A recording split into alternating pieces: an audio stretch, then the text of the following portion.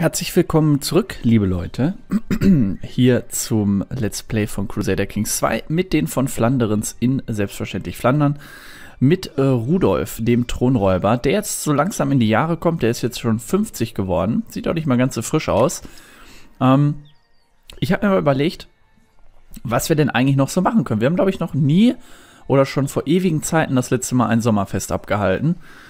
Und äh, da wir ja auch auf Geld aus sind, ist das, denke ich mal, nicht verkehrt, wenn der Wohlstand ansteigt. Also investieren wir hier mal, glaube ich, 25 Gold in ein Sommerfest. Ein Sommer, im Sommer soll ein Markt in Brügge stattfinden. Das soll die Bauern und alle anderen Bewohner natürlich glücklich machen.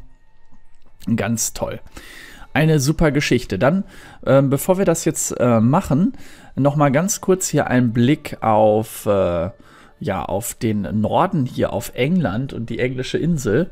Ähm, interessante Konstellation. Also England wird hier gerade von einer großen Revolte heimgesucht angeführt von Redwald der Teufel, der auch schon 51 Jahre alt ist und der hat tatsächlich schon 77% Punkte gegenüber König Beorzige, der Störrische. Wow, was für ein Name.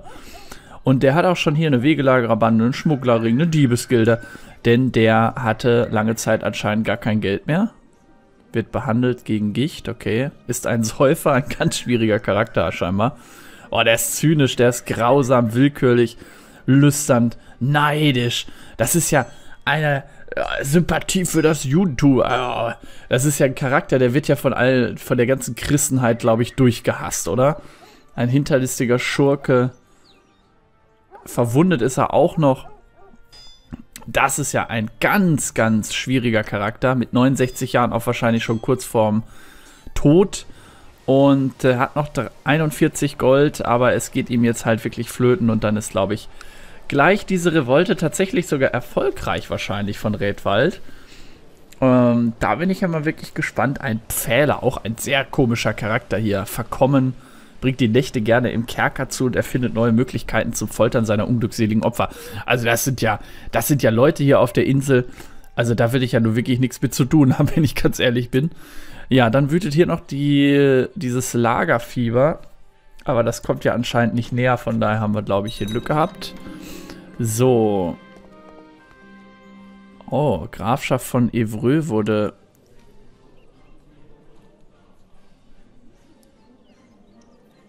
Äh, wurde ihm entzogen. Wo ist denn die Grafschaft von Evreux überhaupt? Muss ich mal gerade nachgucken. Warte mal, das mache ich. Nee, nicht Archiv. Äh, äh, da. Evreux, Grafschaft. Hier oben. Hat er sich hier selbst reingesetzt wieder.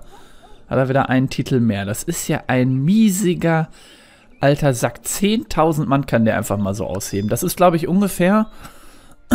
ich habe ja ähm, mir hier so ein... Ähm, interessantes Sachbuch äh, über 1066 und ähm, die Eroberung äh, Englands durch äh, Wilhelm, ja, den Eroberer eben, äh, mir angeschafft.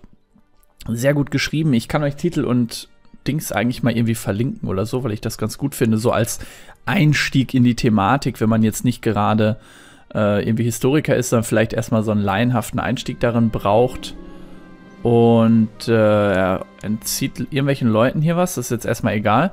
Ähm, und ich habe da gelesen, äh, mit welcher Armeestärke William der Eroberer von der Normandie halt übergesetzt ist auf, die, ähm, auf das englische Land. Und da geht man dann tatsächlich in bestimmten Forschungsrichtungen von zwischen, ich glaube, 5.000 bis 10.000 Mann ungefähr aus.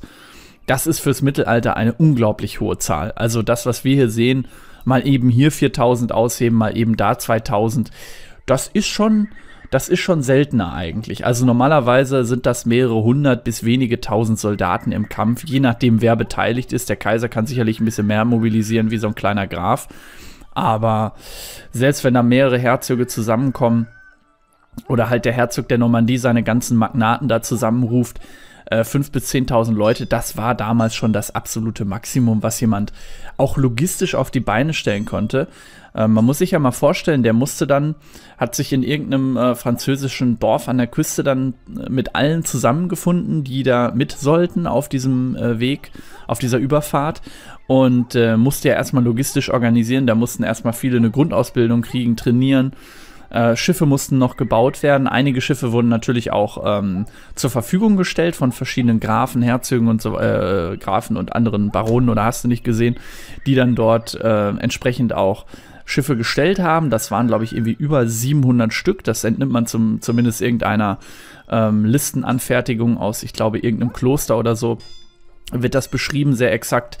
Ähm, so, und dann hat man da, was weiß ich, ungefähr 3.000 bis 5.000 Pferde noch dabei für die ganzen Ritter und so weiter. Also schon ein riesen logistischer Aufwand, dass das äh, funktioniert, dass man auch nicht irgendwie in solchen Gefahr kommt, wenn die ganzen Leute alle irgendwo mal ihre Notdurft verrichten müssen, ebenso die Tiere und dann fängt das nicht nur an zu stinken, sondern ist natürlich auch immer eine Gesundheitsgefahr ähm, weil man ja von Hygiene noch nicht so ganz so mega viel weiß.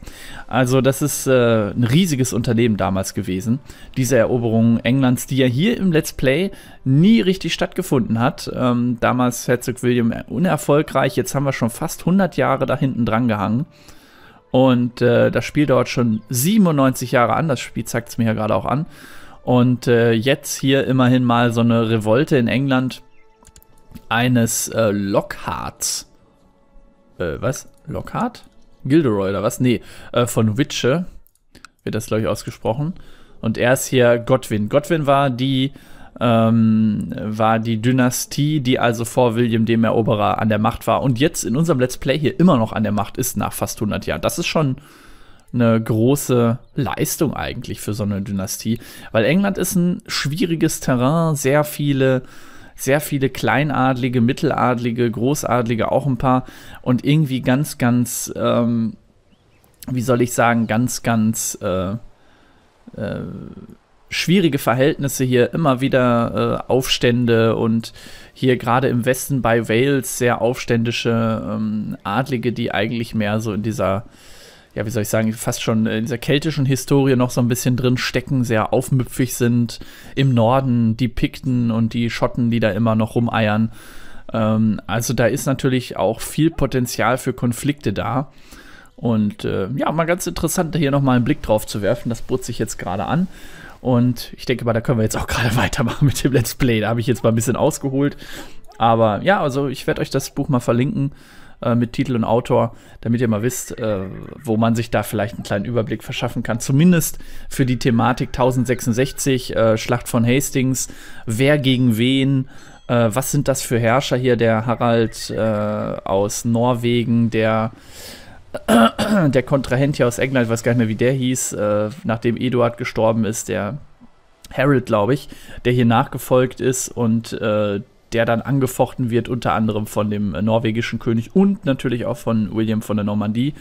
Und ja, einfach eine interessante Gemengenlage, auch mal so zu sehen, äh, wie funktioniert das überhaupt, Vorbereitung von so einem Feldzug und so weiter und so fort.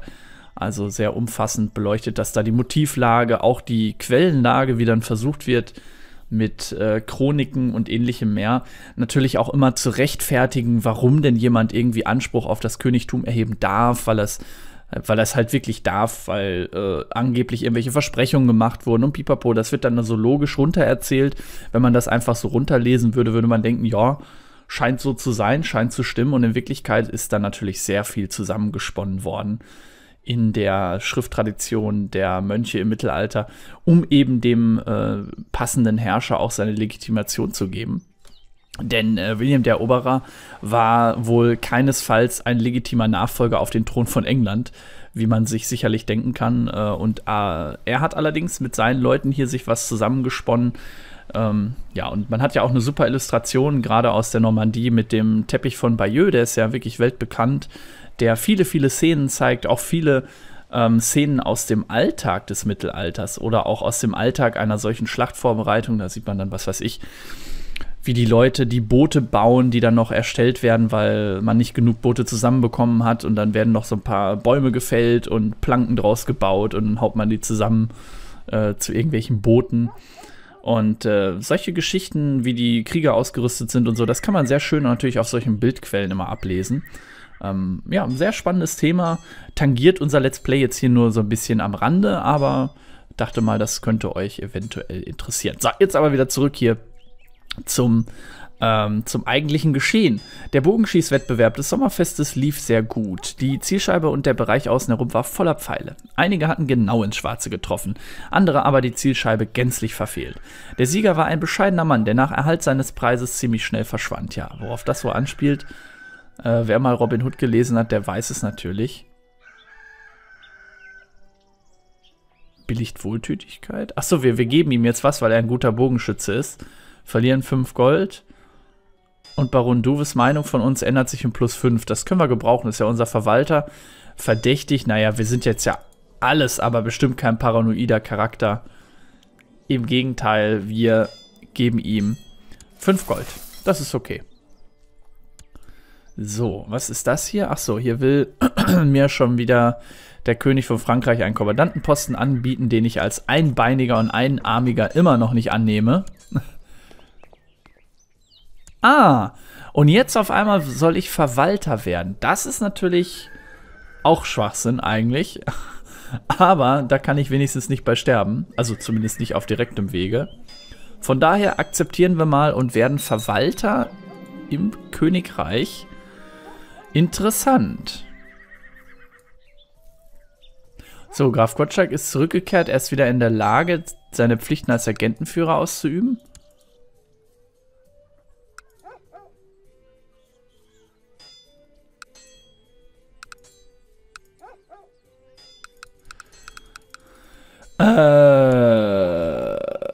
Wa warum war der denn weg? Was, was, intrigieren? Wieso war Graf Gottschalk, mein Bruder, denn da weg? Hat er sich versteckt? Aber wovor? Das Lagerfieber ist doch gar nicht bis zu uns gekommen. Hm, interessant. Naja, auf das Sommerfest hatte ich einen Affendompteur eingeladen. Die Vorstellung lief so lange gut, bis sich einer der Affen weigerte, auf einem Schwein zu reiten. Der Dompteur schlug den Affen mit einem Stock, worauf ihn die anderen Affen attackierten. Sie bissen ihn und schlugen ihn mit seinem eigenen Stock. Geschieht ihm recht? Billigt Ehrlichkeit. Graf Ildebrandos Meinung?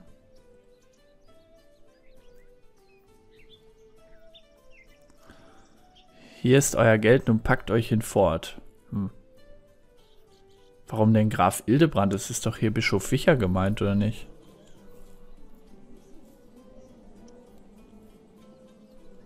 Naja, wir sind ja nicht wirklich schadenfroh oder so. Na, der soll sein Geld nehmen und abhauen. Ist schon okay. Dafür geben wir gerne noch ein bisschen was aus. Graf Simon kaufte bla bla bla frei, das ist okay. Ist jetzt nicht ganz so wichtig. Ja, unser Gefolge steht natürlich auch immer noch, die 300 Mann. Die bleiben uns auch erstmal erhalten. Äh, an Herzog Rudolf. Wir schlagen vor, dass Jaspert der Vormund und Mentor von Klein Adelheid wird, damit sie als anständige französische katholische Frau erzogen wird. Ja, sie ist jetzt ja eigentlich äh, holländisch noch. Ähm, sie kann natürlich dann französisch erzogen werden. Weiß nicht, ob das so richtig dolle ist, aber wir haben es bisher mal abgelehnt und uns eigentlich immer unbeliebt gemacht bei den Königen von Frankreich. Äh, vielleicht ist es nicht verkehrt, das jetzt zumindest für die Adelheit mal einmal zu akzeptieren. Ich glaube, das machen wir mal. So, selbst die Kirche missbilligt Jongleure und nennt sie Gaukler. Ich aber mag ihre lustigen und derben Auftritte auf dem Sommerfest. Wir verlieren jetzt Pietät und gewinnen, gewinnen Prestige. Spaßige Dinge kann die Kirche nicht leiden. Wenn es der Kirche nicht gefällt, ziemt es sich dann für mich. Och, nee, ja, müssen uns jetzt bei Wiecher, glaube ich, nicht weiter einschleimen, da war eh schon 100. Ähm, ja, ich finde das toll, ich freue mich daran. Der kann gleichzeitig neun Äpfel jonglieren. Yay! so, die Hausierer laden ihre Waren auf und die Händler bauen ihre Stände ab. Die Jongleure, fahrenden Schauspieler und das andere Unterhaltungsvolk bereiten sich auf die Abreise vor.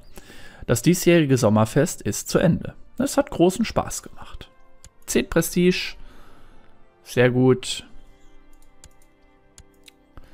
Sehr, sehr gut. So, Jägermeister wurde ernannt. ja, Prosit, ein Jägermeister. so.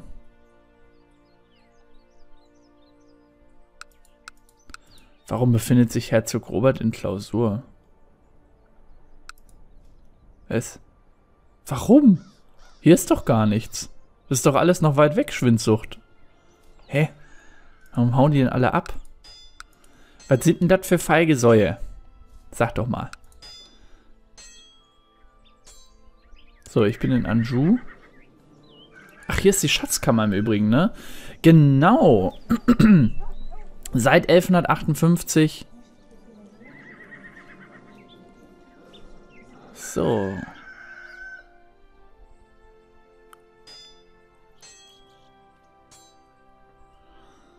Jeder Zentimeter dieser goldenen Reifkrone ist mit Perlen in allen Größen bedeckt, die durch Saphire sowie durch Gemmen ergänzt werden, auf denen ihr auf denen in Perlmutt eingravierte religiöse Charaktere abgebildet sind.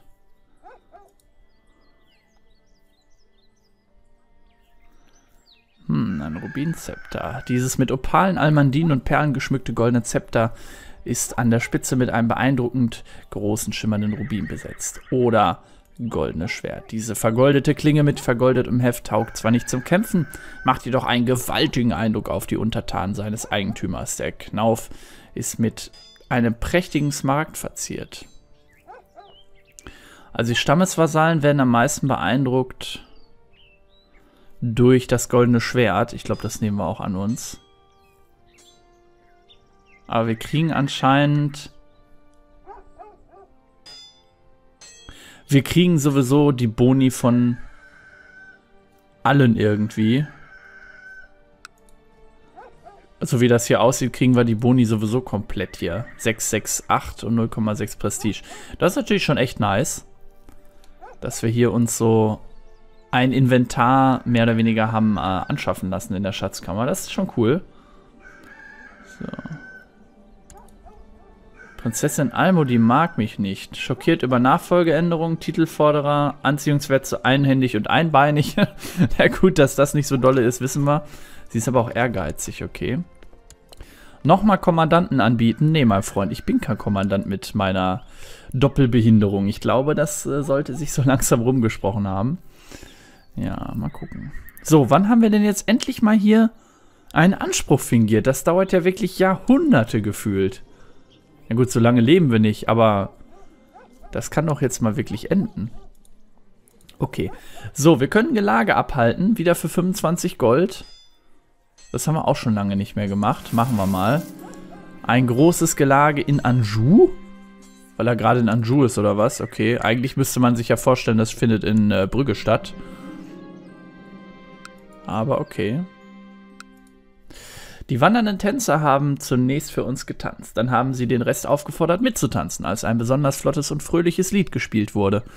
Ich habe getanzt, bis mir die Luft ausging und mein Gesicht rot anlief. Dann musste ich mich eine Weile hinsetzen, um mich einen Moment auszuruhen und die Höflinge mit den Tänzern zu beobachten. So vergnügt habe ich sie noch nie gesehen wahrscheinlich.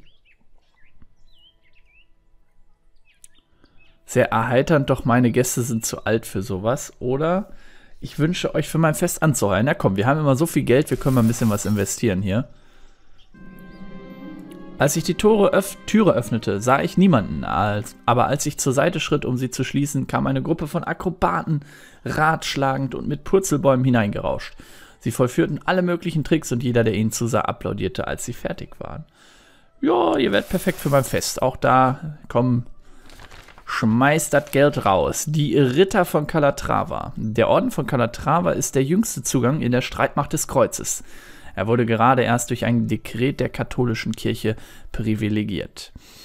Der Name bezieht sich auf eine der, auf eine der Klauen der muslimischen Ungläubigen in Iberien entrissene Burg. Ach, den Klauen der muslimischen Ungläubigen in Iberien entrissene Burg und die Ritter stehen bereit zum Kampf gegen die Heiden und zur Verteidigung der Frommen im Namen jedes katholischen Herrschers, der bereit ist, für ihren Unterhalt aufzukommen. Mögen ihre Schlachten siegreich enden. Alles klar. So, der schönste Teil der Vorbereitung eines Gelages ist die Entscheidung über das Essen. Hirsch muss aufgetischt werden, Wildschwein und Ente. An Gewürzen und Met darf es auch nicht fehlen. Für den Nachtisch, hm, Käse und vielleicht einen Schwan oder einen Pfau. Ah, ich glaube, genug ausgeben, dass niemand hungrig nach Hause gehen muss, das sollten wir schon tun. Das ist das Wichtigste am Gelage. So, die meisten Vorbereitungen für das Gelage sind abgeschlossen. Jetzt muss nur noch, jetzt muss ich nur noch die Einladung verschicken damit werden sie verschickt. Das war früher mal ein bisschen anders. Herzog Rudolf, Ludbad, äh, ich kann nicht zum Gelage kommen. Ho, vielmehr weigere ich mich auch nur einen Fuß in eine Burg zu setzen, in der ihr euch befindet. Alles klar. Also was der gegen mich hat, weiß ich auch nicht. Nun, ich kann euch auch nicht leiden. Verachtet. Okay. das ist ja... Okay. Interessant. Mal gucken, was die anderen so sagen. Okay, endlich. Die Gäste sind da. Ist überhaupt jemand gekommen? Alles ist vorbereitet. Die Köche haben Tag und Nacht an der Zubereitung des Essens gearbeitet und die Burg sieht schöner aus als je zuvor. Willkommen zu meinem Gelage. Fresst euch zu Tode, meine lieben Vasallen. Eure Provinzen nehme ich gerne an mich. Bischof Alvin wurde auf seinem Weg hierher von einer Wegelagererbande angegriffen, die durch die Anjou streifen. Ich verstehe seinen Ärger deswegen, okay. Warum findet das jetzt überhaupt in Anjou statt? Obwohl hm. Ja, das beste Gelage des Jahres, Prestige, äh, plus 5, ja. Okay. Ne, ist in Ordnung. Ich habe nie bedacht, was für ein Glück ich hatte, zwei gesunde Beine zu besitzen. Ach, die Freiheit, überall hingehen und tun zu können, was ich wollte. Ich bin ein Herzog, doch jetzt behindern mich diese verdammten Krücken. Es ist unter meiner Würde, so herumzuhumpeln. Manchmal komme ich mir lächerlicher vor als ein Hofnarr.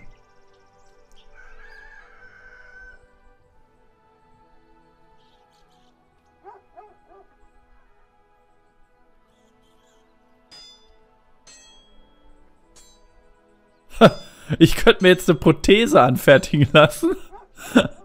Erstmal für relativ viel Geld eine naturgetreue Beinprothese, um euer fehlendes Bein zu ersetzen. Dann bekomme ich Beinprothese mit Auswirkung Sex Appeal plus 10. Mit über 50 brauche ich natürlich noch Sex Appeal. Äh, ganz viel davon. Persönliche Kampffertigkeit plus 3. Oder ein simples Holzbein. Dann habe ich nicht mehr so viel Sex-Appeal. Kostet mich aber auch weniger. Kampffertigkeit ist trotzdem um plus 3 erhöht. Wir haben jetzt ja aktuell minus 3. Ja, ich glaube, eine normale Prothese reicht doch, oder? Ich meine, so viel rausschmeißen. Sex-Appeal mit 50 Jahren. Gut, meine Frau ist jetzt nicht die unhübscheste.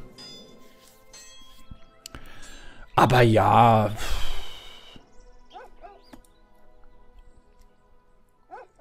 Kinder haben wir ja eigentlich genug. Es ist mir gleich, was sie denken. Ich will nur einen Teil meiner Erziehung. Obwohl er ist ja eigentlich erst stolz, ne?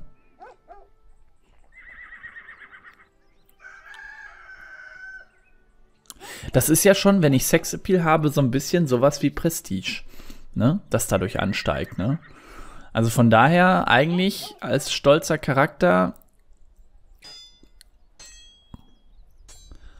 Hm. Ja, ich glaube auch. Er versucht tatsächlich einen naturgetreuen Ersatz zu finden. Bin mal gespannt, ob das funktioniert. Beinprothese, ey. Tch. Beinprothese plus C, das funktioniert tatsächlich. Lol. Neutralisiert quasi den Malus, okay. Interessant.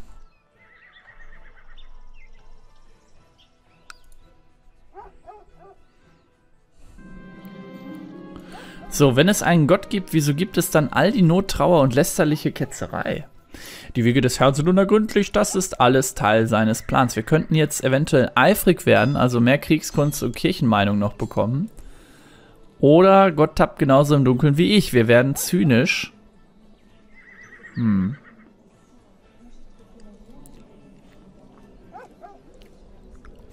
Ich glaube schon, auch wenn er nicht besonders gebildet ist, hat er doch ein ziemlich ja, ein ziemlich primitiv, äh, ja, ein ziemlich naives Urverständnis für alles Göttliche, glaube ich, hier. Ich würde sagen, äh, er sieht das tatsächlich so. Die Wege des Herrn sind tatsächlich unergründlich. Es muss alles Teil seines Plans sein. Okay, Königin Asna von Navarra akzeptiert das Friedensangebot von Agathe III. Weißer Frieden hat sie hingekriegt, okay. Naja nichts Besonderes eigentlich.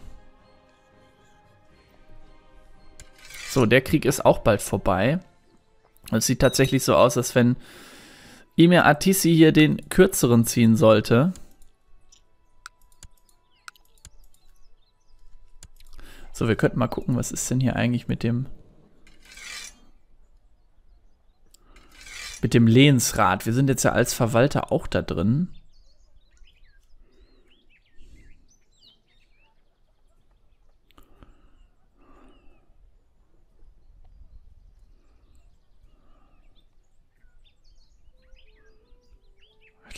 Rumsucht. Hm.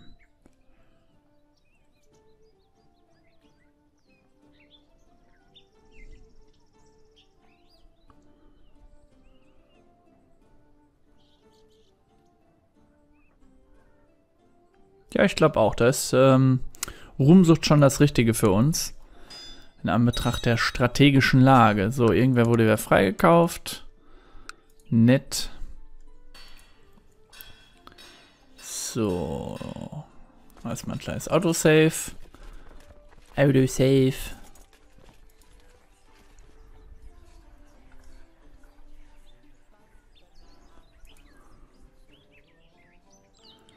So. Das haben wir auch eigentlich alles schon abgegolten.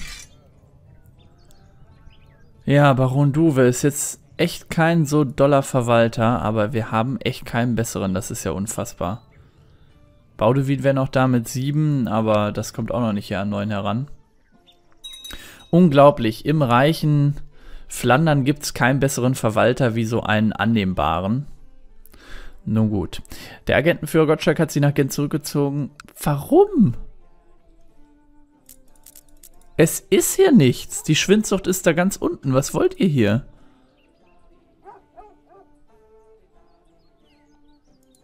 Befinden sich in der Klausur. Hm. Na denn. Okay. Warum auch immer. Whatever.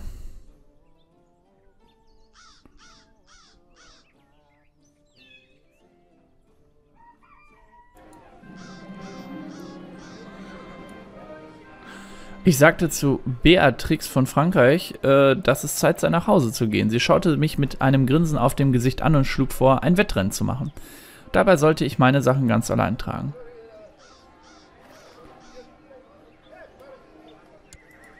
Beatrix wird eventuell ausgelassen mit sechs Jahren.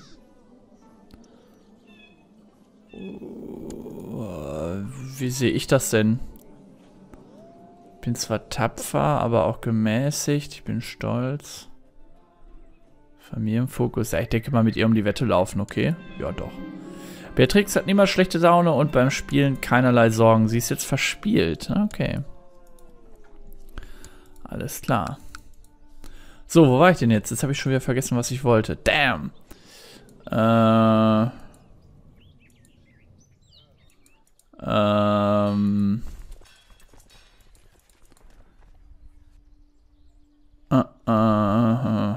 Ach, genau. Hier war ich, äh, beim Hospital. Ich könnte jetzt erstmal ein Krankenhaus bauen. Das ist natürlich jetzt echt ziemlich teuer. Gibt uns ein bisschen Krankheitswiderstand.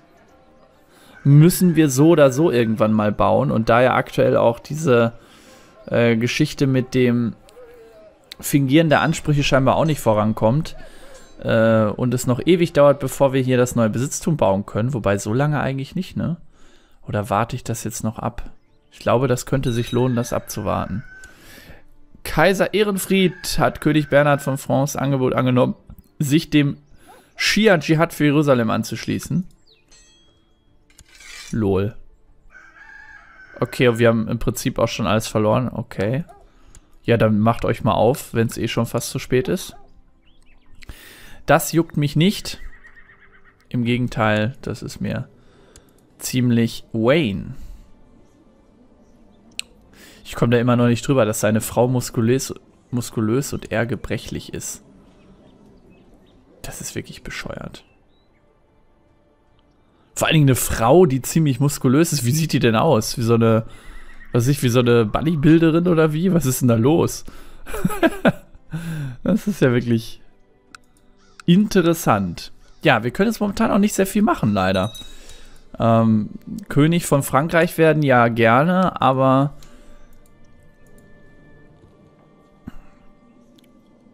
das beinhaltet natürlich, dass wir auch von mehr Leuten gewählt werden. Der unterstützt sich selbst. Nee, der wird von Barthélemy.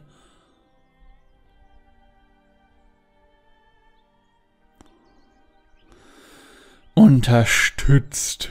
Hm. Na gut, wir schauen uns das mal in der nächsten Folge an. Vielleicht können wir ein bisschen was machen.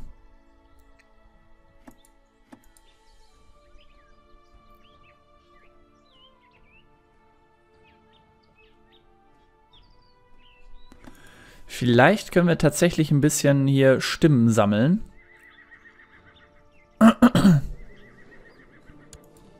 Ja, bei ihm ja nun nicht. Sein eigener Sohn wird er ja nun immer bevorzugen.